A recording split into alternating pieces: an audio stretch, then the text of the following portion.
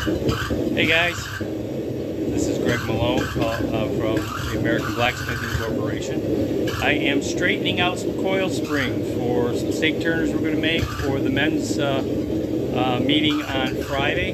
Just thought you guys would like to see this, so enjoy.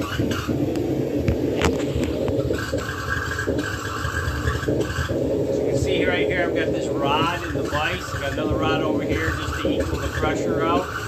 So now I'm going to put the hot coil spring on there, grab it with this pair of pliers, pull it out. Here we go.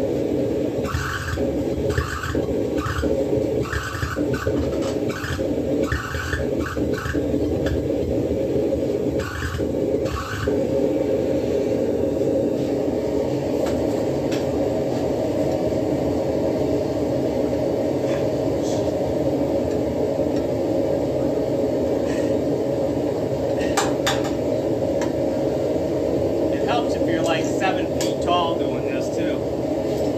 All right, so here I go. I'm going to grab this little tail on the end and just start pulling.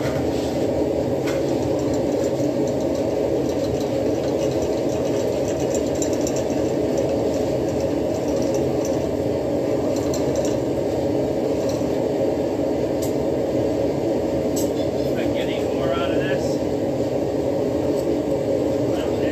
Not much. Another turn. So as you can see, I pulled out, say 15 to 16 feet of coil off of this spring here. We'll follow it down. There it is.